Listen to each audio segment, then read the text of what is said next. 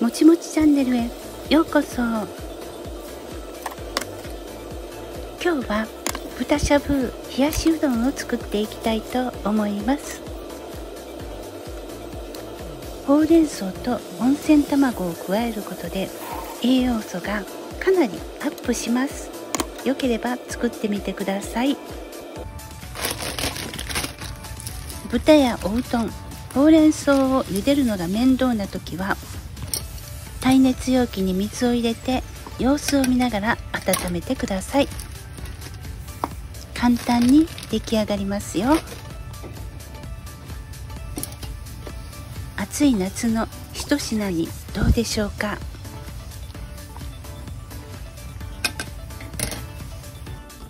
冷凍うどん冷凍ほうれん草市販の温泉卵を使って簡単に仕上げています。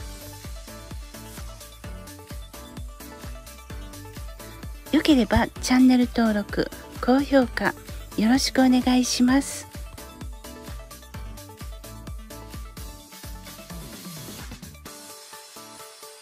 また遊びに来てください。